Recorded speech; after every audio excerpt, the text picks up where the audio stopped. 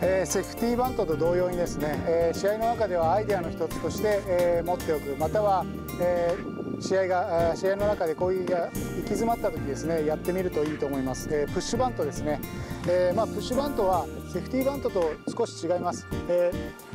構えたら、え一塁、えファーストとピッチャーの間に転がさなきゃいけないんですが、え普通のバントは、えバットの先で打球を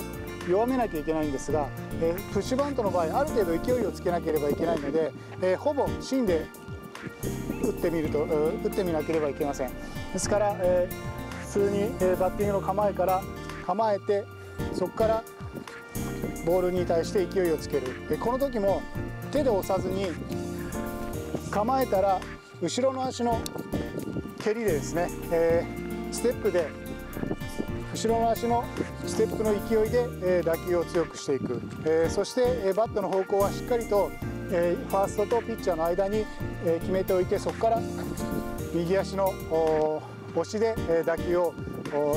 強くする。というふうに、えイメージしてください。そしてバントと違ってですね打球をある程度強くしなきゃいけないので送りバントは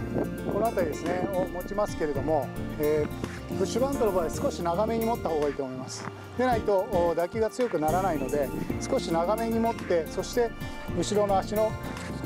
蹴りで打球を転がすというイメージでやってみてください。